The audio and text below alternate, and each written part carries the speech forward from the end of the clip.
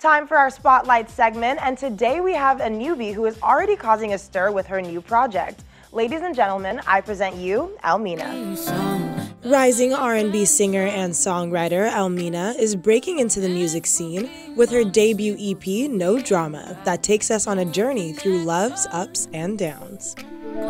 For Elmina, No Drama isn't just about relationships with others, but the importance of a healthy relationship with yourself. The track Done With You, inspired by the end of a love affair, serves as her first official music video release. The visuals are directed by Avalon Okpe.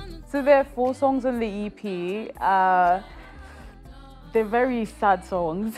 um, they're all about love and you know the how things don't work out sometimes, and and that's perfectly fine. Just learning to move on from that and then love yourself as a result. So that's that was the main inspiration behind it. I'm realizing that not everything is gonna work out the way you want it to, but then that's fine. But we can still go through that emotion. You can still feel all the feelings, and eventually you still be fine. From my current project right now, I think learning to love yourself and putting yourself first, because that's the most important thing. You need to learn um, about yourself and then to lo love yourself before you let someone else love you. And that's really, really important because people walk into relationships with their own burdens and stuff that they expect the other person to um, work out for them. But if you don't know yourself in and out, then really you can't work through a relationship properly. So that's the main thing for me. That's why I feel like a lot of toxic relationships come out. So I think it's so, so important that to take away from this project that you need to love yourself before you get into anything. Done with you, obviously there was someone behind it. I'm not mentioning any names, but you know, we just need to realize that things don't work out. And um, if it's one of those songs where um, the girl is the,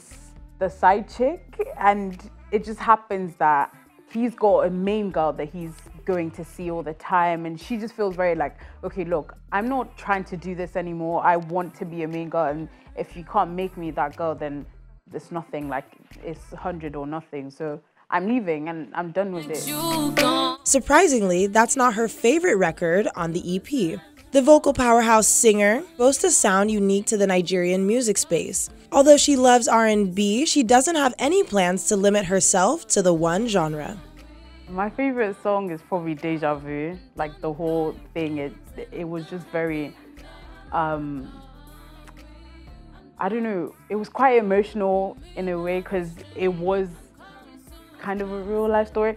For me, when I write, I put I start off with a real life story and then I just carry on with whatever I feel fits best. So um, that one, Deja Vu was, it, it, there was just a lot of emotions in it. So for me, it was just the best. I think every bit of it, the harmonies, everything was just, I can't really pick one thing out of it that would have been the best. What I want to do in the industry for myself, I honestly just want to be real, just be me. So if I wake up tomorrow and I decide, yeah, I want to do a bit of Afro, like, no one attack me because I that's just how I feel. Because I'm one person, I love to go with the vibe. So yes, I love R&B and soul, and I just absolutely because that's the easiest way for me to write and express how I feel or how I'm telling other people stories and stuff. But regardless, I just feel like I just want to be real. Um, can keep it 100. The Tem Records artist got her start with a push from someone in her life, which was a surprise to her because she didn't know she could sing well initially.